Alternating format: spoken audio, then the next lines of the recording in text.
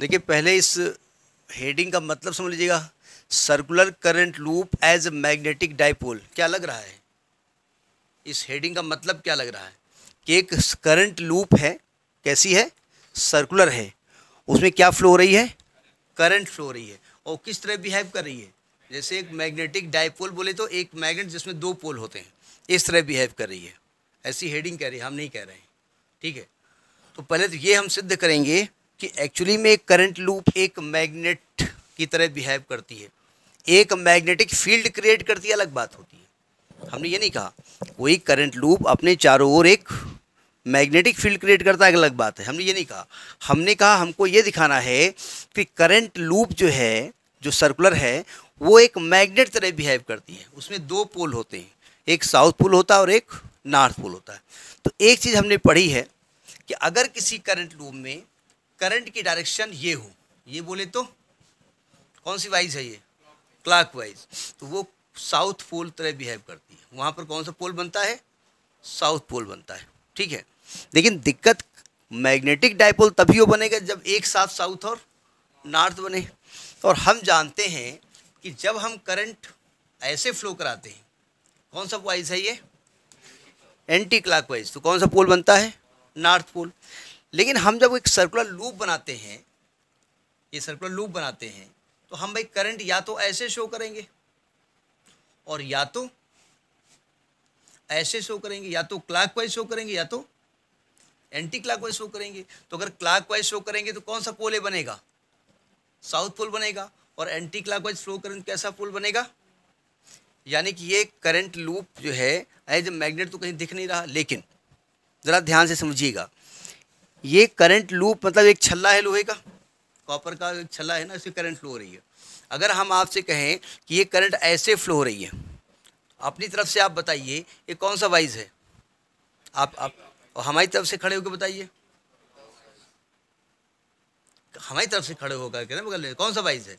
मैं clock wise flow करा रहा हूँ। और आपकी तरफ़ से? क्या समझ में आया? क्वाइल तो एक ही है। करंट तो उसमें ऐसे ही फ्लो हो रही है, ठीक है? लेकिन उस तरफ़ से देखा तो आपको क्या लगा? एंटी क्लाक बोले तो?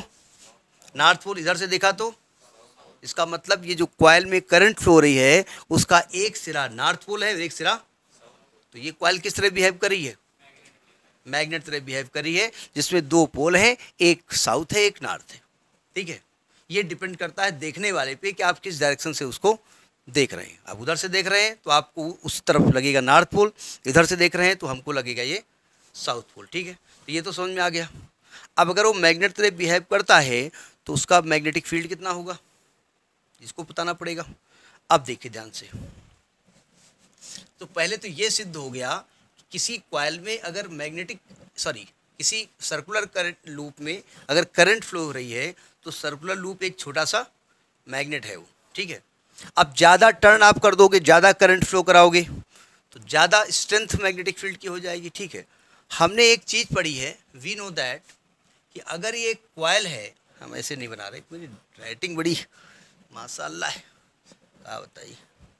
तो हमको मालूम था, बचपन से हमें मास्टर बनना है।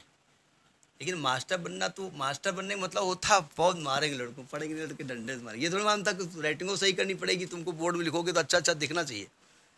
ये थोड़ी था तभी दिमाग में था कि टेबल देंगे, अगले दिन सुनेंगे, नहीं सुना पाओगे, फिर मारो। अगले दिन ये सुनो, फिर उड़ाओ। लेकिन अब तुम लोग चूँकि अच्छे ज़माने में पैदा हुए हो, मार वार आप लोग जानते नहीं हो। देखो, ये एक क्वाइल है, और अगर क्वाइल की रेडियस हम मान लें आर, कुछ भी मान लीजिए, आप जो भी माने। और इससे एक्स डिस्टेंस पर अगर आप मैग्नेटिक फ़ील्ड निकालना चाहें, और इसमें करंट आई फ्लो हो रही हो जाता करंट आई फ्लो रही हो तो magnetic field on the axis of तो अगर इस क्वाइल में करंट आई फ्लो हो रही है तो इससे एक्स डिस्टेंस पर, ये करंट डायरेक्शन ऐसे दिखा दो हमको मैग्नेटिक फ़ील्ड की डायरेक्शन दिखानी पड़ेगी। हम दिखाएँगे कुछ नहीं मैग्नेटिक फ़ील्ड डायरेक्शन वो आप जानते हैं। तो magnetic field on the axis of coil कैसी coil circular coil magnetic field का फार्मूला क्या होता है? कोई बताएगा? Mu naught I R square upon two R square plus X square to power three by ये पढ़ी है आपने ना? अगर हम आपसे कहें कि प्रूफ करो तो प्रूफ कर लोगे? अगर हम आपसे कहें प्रूफ करके दिखाओ तो कितने लोग प्रूफ कर लेंगे? ये अभी अभी प्रूफ करके आए हैं, इसलिए प्रूफ कर लेंगे। अच्छा चूँकि जो ये पॉइंट आप ले रहे हो ना, बहुत दूर ले रहे हो तो as X is greater and greater than R so neglect कौन होगा? नेग्लेक्ट कौन होगा? है? X is greater and greater than R neglect कौन किया जाएगा? आर कौन सा आर नेग्लेक्ट किया जाएगा? जो एक्स के साथ होगा। जो अकेला आर है, वो नेग्लेक्ट नहीं होता है। क्योंकि उसकी अपनी आइडेंटिटी ना, बड़े के साथ पहुँच गया ना वहाँ पर तो उसको नेग्लेक्ट किया जाएगा। जैसे कहीं आप दोस्तों के यहाँ बर्थडे में जाते आए दोस्त मेरा दोस्त मेरा दोस्त। आपकी इंपॉर्टेंस होती नहीं होती है। और आप पापा के साथ आते हैं, और सिंह साहब के हाल चाल तुमको कोई पूछता ही नहीं है। तुमसे कोई इतना पूछेगा, बेटा खाना खा के जाना। तो वहाँ नेग्लेक्ट आप किए गए ना। क्यों? क्योंकि आप साथ गलत पकड़े थे। क्या कहना चाहते हो? बोले, गलत साथ पकड़े थे अकॉर्डिंग टू द फिजिक्स ऐसा नहीं है, उन्हीं के नाम से जाने जाते हो। तो नेग्लेक्ट करो जरा आप इसको। तो बी इज़ इक्वल टू क्या आएगा? Mu naught I R square upon two into ये क्या बचेगा? एक्स क्यू बचेगा। अब देखो, चूँकि एक प्रूफ हमको करके लाना है, ठीक है? इसलिए कुछ इसमें अमेंडमेंट हम करेंगे। ज़रा देखिए ध्यान से म्यू नॉट आई अगर इसको हम पाई आर स्क्वायर लिख दें और पाई से डिवाइड कर दें, और टू पहले से था तो कोई दिक्कत है? हमने पाई से मल्टीप्लाई कर दिया, पाई से डिवाइड कर दिया, कोई दिक्कत आई आपको? क्या पहचानते हैं पाई आर स्क्वायर क्या होता है? एरिया ऑफ़ द क्वाइल यानी कि बी की वैल्यू क्या हो गई? Mu naught I A upon two pi X cube जरा इसको ध्यान से देखिए। ये भाई साहब एक अलग आइडेंटिटी रखते हैं। देखिए, यहाँ पर क्या होना चाहिए? Mu naught upon four pi. तो यानी कि हम, हमने क्या किया? म्यूनोट अपान फोर पाई अलग कर दिया into two I A upon X cube कोई दिक्कत? ये आपको याद होगा, जब हम गुलाम सलाह पढ़ा रहे थे तो हमने बताया था कि वन अपान फोर पाई क्यों करते हैं? याद है? जो फोर्स निकल रहा था, उसमें वन अपान फोर पाई क्यों किया था? याद है ना? तो यहाँ पर one one upon four pi यहाँ भी उसी लिए करते हैं। हम बताने नहीं जा रहे हैं। और वहाँ जो जो मीडियम होता था वो उसको one upon epsilon naught times करता था और यहाँ जो मीडियम है इसको म्यू नॉट टाइम्स कर देता है। इसीलिए mu naught upon four pi यहाँ पर कॉन्स्टेंट आया है। उसी नहीं समझाया था हमने। आपको अगर गुलाम सलाह याद हो तो वहाँ बताया गया था वन अपान फोर पाई क्यों किया जाता है। तो वही यहाँ पर भी किया गया है। वहाँ पर जो मैग्नेटिक फ़ील्ड निकलता था या इलेक्ट्रिक फ़ील्ड निकलता था मीडियम उस, उसको कितना कर देता था? वन अपान और यहाँ पर म्यू नॉट कर देता है। बस इसलिए म्यू नॉट यहाँ मल्टीप्लाई में लिखा गया है। ठीक है? अच्छा आई इंटू ए पहचानते हैं आप? हमने कहा था मैग्नेटिक डायपोल मोमेंट होता है। यानी कि mu naught upon four pi into two M upon X cube ज़रा इसको पहले आप पहुँचिए, यहाँ फिर बात की जाए। ज़रा इस टॉपिक को देखिए, अभी तक हमने ये नहीं कहा ये मैग्नेट है। वो तो मैं इसके पहले समझा दिया को साउथ पोल नॉर्थ पोल वो मैं बता रहा था ना कि ऐसे करंट फ्लो होगी तो साउथ पोल होगा, ऐसे करंट फ्लो होगी तो नॉर्थ पोल होगा, ठीक है? इधर से मैं देखूँगा तो एंटी क्लाक उधर से आप देखोगे तो ये कुछ नहीं बता रहा हूँ।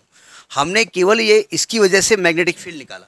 कहाँ पे निकाला है आपने? इस पॉइंट पे निकाला है, ठीक है? अब ज़रा देखिए ध्यान से। अगर हम थोड़ा सा इलेक्ट्रिक डाइपोल के बारे में बात करें as electric field due to electric dipole electric dipole की वजह से इलेक्ट्रिक फ़ील्ड का formula on the axis of dipole जो बताया गया था, वो क्या था?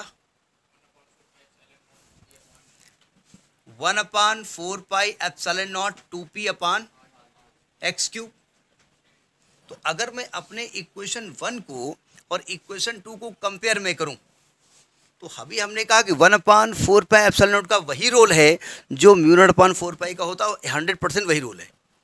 हमने बताया था कि वन अपान फोर पाई क्यों होता है और ये हमने बताया था कि मीडियम वहाँ क्या कर देता है? One upon epsilon naught times कर देता है इलेक्ट्रिक फ़ील्ड में और म्यू नॉट कर देता है मैग्नेटिक फ़ील्ड में। तो ये चीज़ लगभग लगभग दोनों की सेम है। ये इलेक्ट्रिक फ़ील्ड के केस में, वो मैग्नेटिक फ़ील्ड के केस में, एक्स बिल्कुल डिटो सेम है। ठीक है। और ये मैग्नेटिक इलेक्ट्रिक डायपोल मोमेंट है तो ये मैग्नेटिक डायपोल मोमेंट हो जाएगा। तो अगर मैं यहाँ कंपेयर करूँ तो एम क्या यहाँ पर है? अगर मैं मान भी लूँ कि मैं, अब आप कहेंगे साहब एम को तो पहले आपने आई इंटू ए माना था। हमने आई इंटू ए बराबर एम एम माने मामा, कुछ भी मान लिया। हमको नम क्या है? लेकिन मैं अगर मैं इससे कंपेयर करूँ तो यहाँ पर पी किसको इंडिकेट करता है? इलेक्ट्रिक डायपोल मोमेंट यहाँ पर मैग्नेटिक डायपोल मोमेंट तो अगर मैं इन दोनों इक्वेशंस को कंपेयर करूँ comparing equation one and two तो एम बराबर क्या हो जाएगा? आई इन टू ए ये क्या है? मैग्नेटिक डायपोल मोमेंट अब मैं कंपेयर कर रहा हूँ इक्वल टू नहीं कर रहा हूँ। मतलब जो पी का रोल है, वही यहाँ पर एम का रोल है। और पी कब आता है? जब इलेक्ट्रिक डायपोल होता है मतलब एक एंड नॉर्थ होता है एक एंड साउथ होता है। क्या बोल रहा हूँ? एक एंड पॉजिटिव होता है, एक एंड नेगेटिव होता है। वही, जो हम कहें वही सही। जो नॉर्थ बोला, जो नॉर्थ का उत्तर क्या होता है? इसलिए उसने उसको पूरा किया। उसी प्रकार से मैग्नेट में अगर एम यहाँ पर आया है तो एक एंड नॉर्थ होगा, एक एंड साउथ होगा। तो ये शो क्या करता है कि आपका जो इलेक्ट्रिक क्वाइल है, जो करंट क्वाइल है, वो किस तरह बिहेव कर रही है? एक मैग्नेटिक डायपोल तरह बिहेव करती है। तो इस फॉर्मूले को ध्यान रखिएगा। ठीक है नोट करिए। देखिए टॉपिक की जो हेडिंग है, उससे कुछ समझ में आ रहा होगा। Magnetic dipole moment of revolving electron. देखिए, हमने कहा कि किसी भी करंट लूप में या किसी लूप में अगर करंट फ्लो होती है तो वो किस तरह बिहेव करता है? एक मैग्नेट तरह बिहेव करता है। तो करंट कौन फ्लो कराता है? इलेक्ट्रॉन कराता है। और हम जानते हैं कि इलेक्ट्रॉन अपनी ऑर्बिट, दो तरीके के मोशन क्या करते हैं। एक तो अपनी ऑर्बिट में घुमा करते हैं। तो रोटेश और दूसरे स्पिन करते हैं ऐसे मूव करते हैं। करते हैं ना? क्या है भाई? तो मैं मैं ऐसे ऐसे क्या कर रहा हूँ? उंगली कर रहा हूँ भाई। मैं कर क्या रहा हूँ भाई? मैं वही तो कर रहा हूँ जो मेरी उंगली वही तो इंडिकेट कर रही है कुछ और इंडिकेट कर रही है, है? वही कर रही है ना? यानी इलेक्ट्रॉन स्पिन भी कर रहे हैं। स्पिन स्पिनिंग ऐसे तो होती है। एक स्पिन वाला वो जो होता है ऐसे लट्टू क्या स्पिन करता है ना? जैसे बॉल स्पिन होती है। स्विंग जिसको कहते हैं, स्पिन होती है। स्पिनर करते हैं ना। अगर उनसे कहें कि कौन सा साइंस का रूल निकलेगा तो कहेंगे तो साइंस का रूल चाहे जो वो भला स्पिन करके दिखाओ। तो हम स्पिन नहीं करा सकते। और वो रूल नहीं बता सकते। बता सकते हैं, एक आध पढ़े लिखे भी होते हैं, ऐसा थोड़ी है। एक आध होते ही होंगे। क्यों? ज़्यादातर नहीं होते। एक आध होते ही होंगे। नहीं होते हैं। यानी जितने गधा होते हैं सब। कहीं तो यही रहे हो। एक आध होंगे।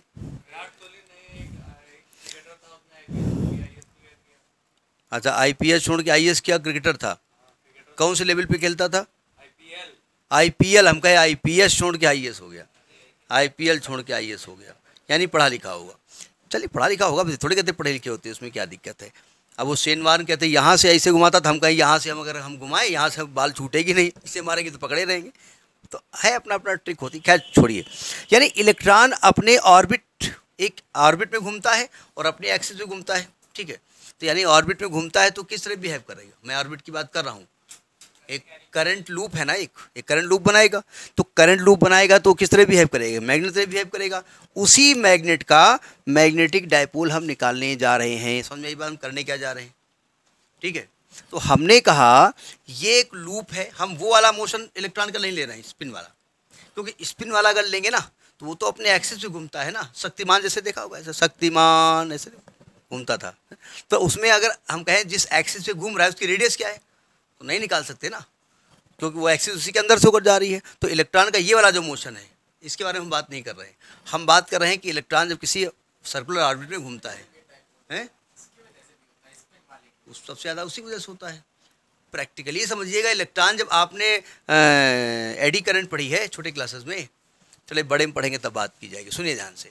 तो हमने कहा एक इलेक्ट्रॉन है वो इस ऑर्बिट में घूम रहा है है ना? इलेक्ट्रॉन घूम रहा है। इलेक्ट्रॉन इस प्रकार से इसकी वेलासिटी है। ये इलेक्ट्रॉन साहब हैं इसका मास है एम अब दिक्कत इसमें इससे बड़ा क्या लिखे हैं छोटा है बताया गया कि वो छोटा लिखते हो आप वीडियो में दिखता नहीं है। अब इससे बड़ा दिखे तो ये इलेक्ट्रॉन का पाथ है। अरे ठीक है। और ये इलेक्ट्रॉन मूव कर रहा है वी वेलासिटी से इसका मास है एम इसका चार्ज है ई e, और इसका रेडियस है आर ठीक है?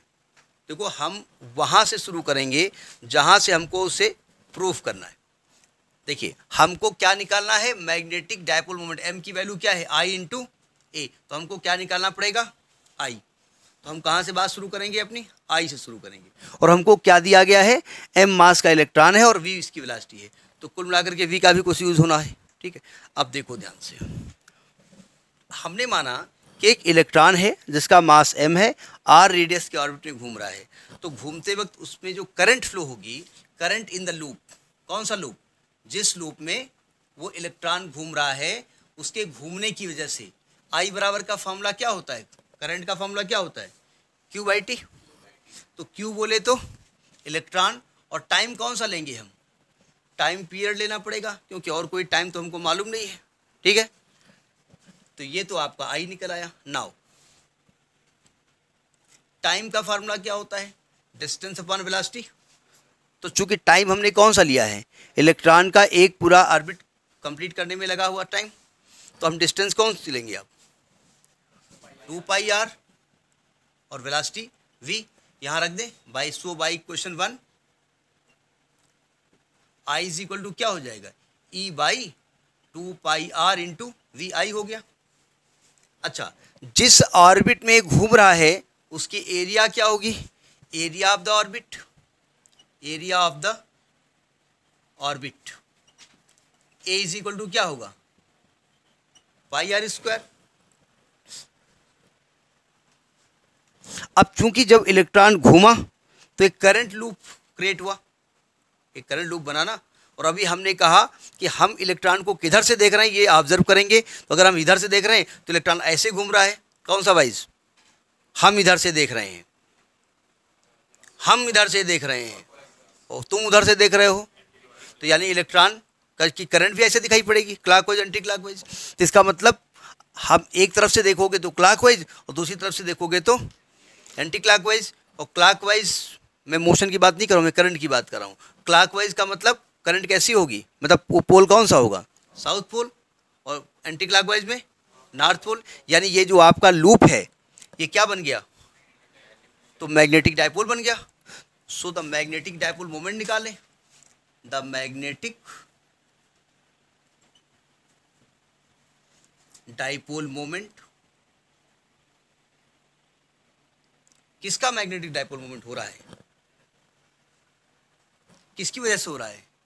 Associated with the revolution of electron भाई, किस वजह से हो रहा है? Associated associated with the revolution of electron electron के रेवोल्यूशन की वजह से हो रहा है। तो मैग्नेटिक डायपोल मोमेंट का फार्मूला क्या होता है? इसको रब कर देना। एम बराबर क्या होता है? I into A M is equal to I into A I क्या आपने निकाला अभी? अभी E V R upon E V upon two pi R I क्या निकाला है? E V upon two pi R A क्या है? पाई आर स्क्वायर काटो पीटो, क्या आएगा? E V R upon two ये मैग्नेटिक डायपोल मोमेंट का फार्मूला आ गया due to the revolution of electron R हम एक्चुअली में हर जगह स्मॉल आर लिखा है क्या हमने? तो आप ऐसा करो, यहाँ स्मॉल आर कर दो। तो हर जगह कैपिटल आर लिखने का मतलब फिर दिक्कत हो जाएगी। यहाँ पर आप डायग्राम में स्मॉल आर कर दीजिएगा। तो ये आपका मैग्नेटिक डायपोल मोमेंट निकल आया, ठीक है? अब जरा इस मैग्नेटिक डायपोल मोमेंट की डायरेक्शन हमने क्या बताई थी? हमने कहा था कि जिधर करंट फ्लो हो, उधर अपनी हथेली करिए ऐसे उंगली करंट करिए राइट हैंड की। तो अंगूठा जो होता है, ये आपका मैग्नेटिक डायपोल मोमेंट बताएगा। अब ज़रा ध्यान से देखिएगा एक्चुअली इस, ये जो हमने बनाया है ना लूप इस लूप को हमने एक तरीके से इस तरह बनाया है। ये लूप है। अब बिल्कुल सीधा बना देते तो दिक्कत होती है। ठीक है। अब आप कहीं ये नहीं कहा, देखो मेरी नहीं है। हाँ कह रहे हैं। देखो, ये ये ऐसे करंट जो इलेक्ट्रॉन मूव कर रहा है तो करंट ऐसे मूव करेगी ना, ऐसे उल्टा। तो जिधर इलेक्ट्रॉन जाएगा करंट उसके अपोजिट फ्लो होगी ना तो यदि करंट ऐसे मूव करेगी फ्लो होगी तो मैग्नेटिक डायपोल मोमेंट किधर होगा? तो मैग्नेटिक डायपोल मोमेंट की डायरेक्शन किधर होगी? नीचे की तरफ़ होगी। तो डायरेक्शन दिखा दिया आपने, ठीक है? तो एक तो ये टॉपिक हो गया। अब ज़रा समझिएगा, नहीं समझ आई बात क्या? आप इस लूप को इस तरह बना दो ना एक्चुअली लूप जो है ना हमारा कुछ लूपा बन गया है। तो थोड़ा सा लूप को सही तरीके से बना दो। ऐसा नहीं कि दोबारा हम बना रहे हैं तो सही बन जाएगा। मतलब बनेगा वैसे ही, लेकिन हमको ऐसा लग रहा है सही बन जाएगा। इसको आप थ्री वाला टाइप ऐसे बना दो? थोड़ा सा लेटा हुआ ऐसे, ठीक है? और इलेक्ट्रॉन को ऐसे मूव करा रहे हैं आप। एम मास का इलेक्ट्रॉन है। तो इलेक्ट्रॉन ऐसे मूव करेगा तो करंट ऐसे फ्लो होगी ना। और करंट ऐसे फ्लो होगी तो अंगूठा किधर जा रहा है? नीचे की तरफ़। तो मैग्नेटिक डायपोल मोमेंट की डायरेक्शन नीचे की तरफ़ होगी, ठीक है? एक बात में कंफ्यूज मत होना। कुछ बुक्स में मैग्नेटिक डायपोल मोमेंट को कैपिटल एम माना गया है, ठीक है? तो ऐसा नहीं कि अगर उसमें बादशाह कह दिया गया तो बादशाह मतलब राजा होता है। हमारे आप जानते हैं किसका नाम बादशाह है? तो ऐसा नहीं है, वो वहाँ नाम लिखा होगा। Magnetic dipole moment capital M तो आप मान लीजिए वहाँ कैपिटल एम को डायपोल मोमेंट माना गया है। अब जरा समझिएगा। यहाँ कहीं नोट कर लेते हैं, इसका, इसकी ज़रूरत पड़ेगी। एम बराबर E V R upon two. Question one डालो फ़िलहाल। अब जरा देखिए, जब ये इलेक्ट्रॉन घूम रहा है, इलेक्ट्रॉन के पास मास है, इलेक्ट्रॉन के पास वेलासिटी है, इलेक्ट्रॉन के पास सर्कुलर मोशन भी है तो इलेक्ट्रॉन के पास मोमेंटम होगा और एंगुलर मोमेंटम भी होगा। लीनियर मोमेंटम भी होगा और हम चूँकि बात मोशन की कौन सी कर रहे हैं? सर्कुलर मोशन की तो हम बात करेंगे एंगुलर मोमेंटम ऑफ़ इलेक्ट्रॉन तो एंगुलर मोमेंटम ऑफ़ इलेक्ट्रॉन निकाल लेते हैं। क्यों निकालेंगे? कोई ज़रूरत नहीं है। हम इसलिए इसमें दिया गया है रिलेशन तो इसलिए बता रहे हैं। Angular momentum of electron momentum of electron angular momentum की को इंडिकेट अलग अलग बुक में अलग अलग लिखा गया है। किसी में कुछ नहीं लिखा गया है। किसी में जे लिखा गया है। किसी में एल लिखा गया मैं फ़िलहाल जे मान रहा हूँ। तो एंगुलर मोमेंटम जे मान लिया हमने। अरे कुछ भी मानो जब आप लिख रहे हो एंगुलर मोमेंटम जे है तो जे है। ठीक है? ये कोई ग्रेविटेशनल कांस्टेंट है नहीं, हर जगह कैपिटल जी वही होगा। ठीक है? इसमें तो बादशाह किसी का भी नाम हो सकता है। ठीक है एंगुलर मोमेंटम की डेफिनेशन क्या होती है? बताएँ सब। What is angular momentum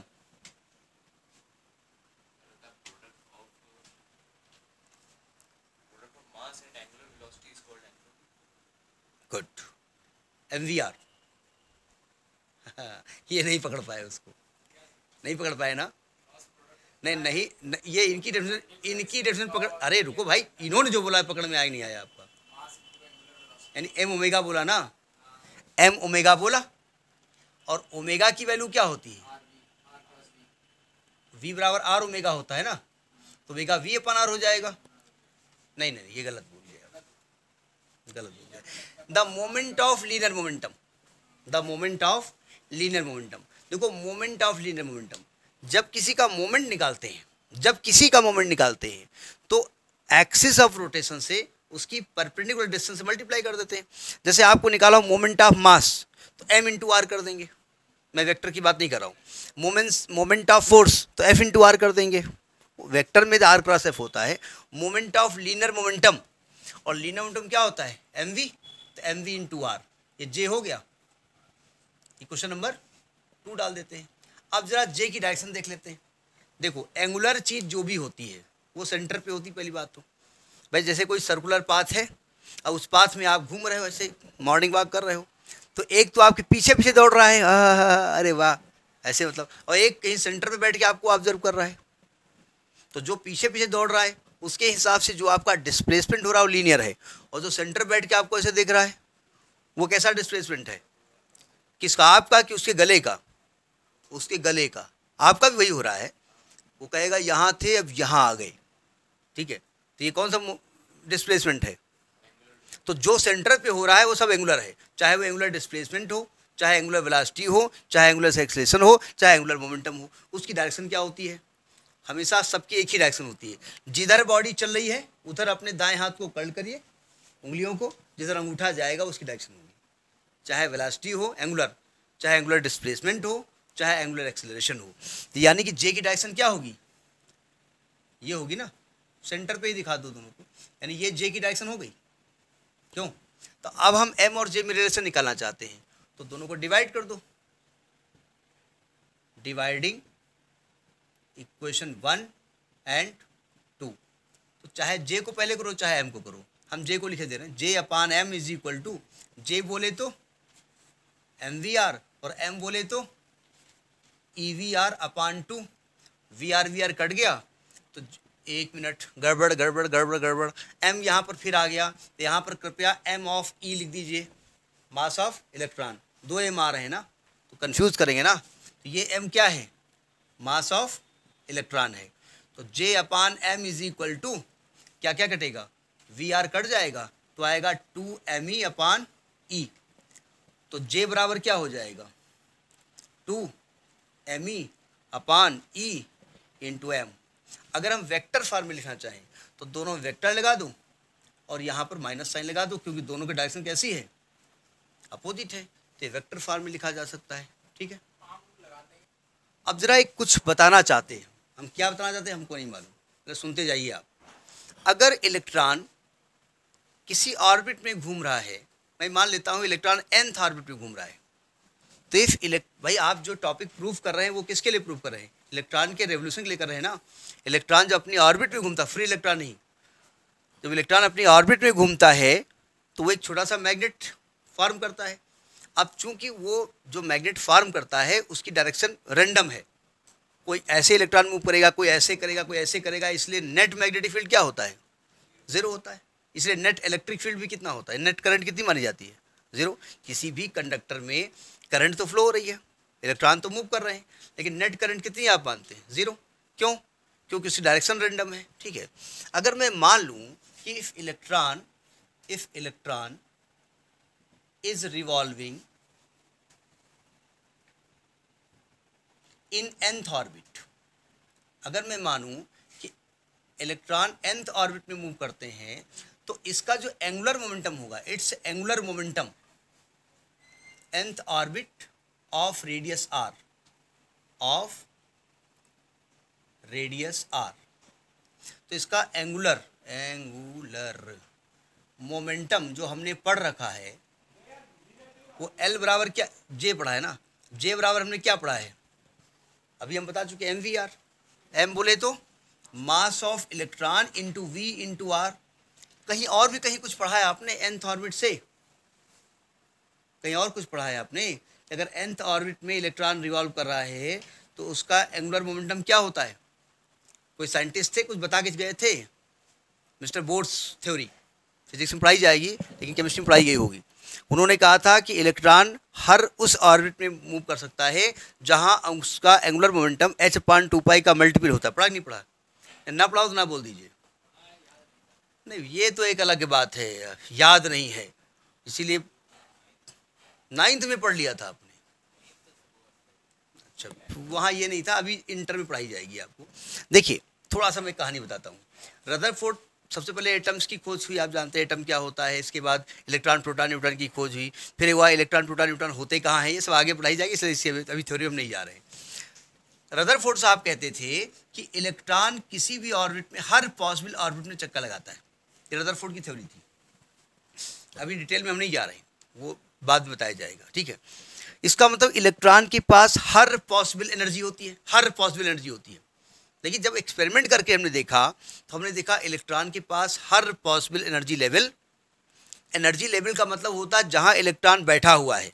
उसका एक लेवल है तो वहाँ पर उसके पास एनर्जी है। उसको कहेंगे एनर्जी लेवल ठीक है? तो इलेक्ट्रॉन के पास हर एनर्जी लेवल नहीं होता है, ठीक है? रदरफोर्ड के हिसाब से होता है ये वो दौर था जब खोज जारी थी। अभी तो आपको सब कुछ पका पकाया मिल गया है। फिर बोर्ड साहब ने कहा कि इलेक्ट्रॉन अगर पहली ऑर्बिट में घूम रहा होगा तो उसका angular momentum H upon two pi होता है। तो पहली ऑर्बिट में इलेक्ट्रॉन का momentum H upon two pi होगा। अगर इससे ज़्यादा हो गया तो अपनी ऑर्बिट को छोड़ देगा। लेकिन तब तक नहीं छोड़ेगा, जब तक वो सेकेंड ऑर्बिट वाला मोमेंटम कितना होता है? टू एच अपान टू जब तक ये नहीं मिल जाएगा। ये मिलेगा तो छोड़ देगा। ठीक है? सेकेंड ऑर्बिट में चला जाएगा। अगर नहीं मिलेगा तो एनर्जी वो लेगा भी नहीं। नहीं समझे? बता, अगर पहली ऑर्बिट में इलेक्ट्रॉन चल रहा है, मान लेते हैं, ये फ़र्स्ट ऑर्बिट है, और उसकी एनर्जी टू है, मान लेते हैं। ऐसे मान लिया, ठीक है? और सेकेंड ऑर्बिट की एनर्जी फाइव है। और हम इलेक्ट्रॉन के पास गए, हम कहा, ले थ्री इलेक्ट्रॉन एनर्जी वन ले ले, और ले ले वन तो अगर वन एनर्जी लेगा इलेक्ट्रॉन कितनी एनर्जी हो जाएगी? उनकी फोर हो जाएगी थ्री हो जाएगी। इलेक्ट्रॉन कहेगा, नहीं लेंगे। क्यों? क्योंकि भैया, ये जो हमारी लेन है ना, उसकी स्पीड कितनी है? टू और ये वाली लेन की स्पीड कितनी है? फाइव तो मैं टू के बाद कहाँ पहुँच जाऊँगा अगर मैं टू स्पीड मैंने थ्री स्पीड कर दी और इस लेन को छोड़ा नहीं तो सामने वाले इलेक्ट्रॉन से टक्कर हो जाएगी। और अगर मैंने थ्री एनर्जी ले ली और यहाँ पहुँचे नहीं तो बीच वाले ठोक देंगे हमारे। तो इसलिए इलेक्ट्रॉन कहता अपनी एनर्जी अपने पास रखो, हमको नहीं चाहिए। ठीक है? हमको उतनी चाहिए जितनी ज़रूरत हो। भाई जैसे मिडिल क्लास फैमिली क्या है? साइकिल से चल नहीं सकते। क्योंकि साइकिल चलेंगे तो बेजती हो जाएगी और कार चलने के लिए धक्का मार मार देखते हैं कितना पेट्रोल है। देखो हिल ऐसे कान लगाएँगे। हाँ मैं पॉइंट कभी कभी नहीं सो होता ना। या बाइक चलाएँगे तो ऐसे धक्का मारेंगे। ए बीस रुपये डाल दो। अभी तो सरकार ने कहा बीस नहीं, अब डायरेक्ट सौ को डलवा बीस से काम नहीं चलेगा। बीस में बीस कदम। जैसे पाँच रुपये में पाँच कदम। बाइक चलेगी बीस रुपये में बीस कदम। तो अग ये इलेक्ट्रॉन किस ऑर्बिट में मूव मूव कर रहा है? एंथ में। तो इसका एंगुलर मोमेंटम कितना होगा? N H upon two pi, ये किसका नियम था? By Bohr's postulate. Bohr's postulate ये कहलाती है, ठीक है? By Bohr's postulate. Bohr's postulate कहिए, या एग्ज़ाम कहिए जो आप पढ़ के आए हो, पॉस्टुलेट काम चल जाएगा, ठीक है? अच्छा इसको एक क्वेश्चन नंबर वन डाल दो। और एम बराबर क्या भी हमने पढ़ा है? Magnetic moment dipole magnetic dipole moment क्या पढ़ा हमने? मैग्नेटिक डायपोल मोमेंट हमने क्या पढ़ा है? एम बराबर क्या पढ़ा अभी हमने? Half E V R half E V R ये एम हमने पढ़ाई क्वेश्चन नंबर टू डालिए यहाँ तक जरा पहुंचिए पहले आप। अब चूँकि हमको एन भी चाहिए नंबर ऑफ़ ऑर्बिट तो इक्वेशन वन से किसको गायब कर दें? वी आर को गायब कर दें। तो by equation one V R की वैल्यू क्या निकलेगी? N H upon two pi M E इस वैल्यू को उठाइए और इक्वेशन नंबर टू में रख दीजिए। Putting this value putting this value in equation two रखो जरा यहाँ पर। यहाँ आपको क्या मिलेगा? M is equal to half into E और वी आर की वैल्यू क्या निकली है? N H upon two pi M E इस ई e से कंफ्यूज ना होना, ये ई मास ऑफ़ इलेक्ट्रॉन के लिए रिप्रेजेंट किया गया है। सही कह रहा हूँ ना मैं? हाँ सही कह रहा हूँ मैं। तो ये कुछ ज़रा सही तरीके लिखिए। तो वन अपान फो four pi M E into N H E ये एम की वैल्यू निकली है। ठीक है? इसे नोट करिए। अगर मैं आपसे कहूँ, ये क्या निकला है? तो आप कहेंगे एंथ ऑर्बिट में मूव करते हुए इलेक्ट्रॉन का मैग्नेटिक डायपोल मोमेंट है। क्यों बात पे जी? सही हूँ ना? ये क्या है? It is the magnetic dipole moment of electron orbiting in nth orbit अब जरा समझिएगा इलेक्ट्रॉन यहाँ ये नोट हो गया ना। इलेक्ट्रॉन कम से कम किस ऑर्बिट में रह सकता है? फ़र्स्ट में। तो अगर एन को वन रख दें, और सब तो कांस्टेंट वैल्यू है ना? ठीक है? तो when N is equal to one one मतलब फ़र्स्ट ऑर्बिट तो एम की वैल्यू क्या हो जाएगी? एन को वन रखो तो H E upon four pi M E सबकी वैल्यू हमको मालूम है ना? तो एच की वैल्यू क्या होती है? Six point six into ten power minus thirty four Planck constant होता है। पढ़ा कभी नहीं पढ़ा आपने? ई e की वैल्यू है one point six into ten power minus nineteen ये भी पढ़ाया आपने। फोर पाई की वैल्यू है three point one four M E है nine point one into ten power minus thirty one जो हमने इसको निकाला वैल्यू तो आया nine point two seven nine point two seven into ten power minus twenty four क्या इसकी यूनिट बता सकते हैं? एम्पियर मीटर स्क्वायर क्योंकि एम बराबर आई इंटू ए वहीं से स्टार्ट किया था हमने। ये एम्पियर मीटर स्क्वायर है ना? ये क्या है? This is the value of magnetic dipole moment of electron orbiting in first orbit इसको बोर्स मैग्नेटॉन कहा जाता है। क्या कहते हैं? बोर्स मैग्नेटॉन यानी बोर्स मैग्नेटॉन क्या होता है? मैग्नेटिक डायपोल मोमेंट होता है। एक्चुअली ये बोर्स मैग्नेटॉन क्यों कहा गया? बोर्स साहब ने जो इलेक्ट्रॉन थ्योरी दी थी, वो सिंगल इलेक्ट्रॉन थ्योरी थी हाइड्रोजन एटम की। और उसमें इलेक्ट्रॉन अगर अपनी नॉर्मल स्टेट में है तो कहाँ रहेगा? फ़र्स्ट ऑर्बिट रहेगा। इसीलिए फ़र्स्ट ऑर्बिट के मैग्नेटिक डायपोल मोमेंट को क्या कहा गया? तो आप लिखिए here this is the minimum value of magnetic dipole moment of electron this is the minimum value of magnetic dipole moment of electron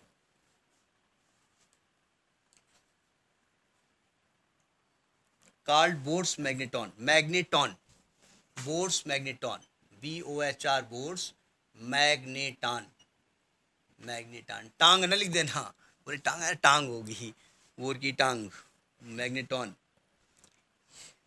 यानी अगर आपसे कहा जाए कि वन बोर्स मैग्नेटॉन क्या होता है बहुत चूँकि ये जो नाम है ना, बड़ा भूत टाइप का लगता है बोले, क्या है ये इसका मतलब आपको इलेक्ट्रॉन की पहले ऑर्बिट में मूव करते हुए इलेक्ट्रॉन का मैग्नेटिक डायपोल मोमेंट निकालना इसकी वैल्यू लिखने पूछ रहा है आपसे।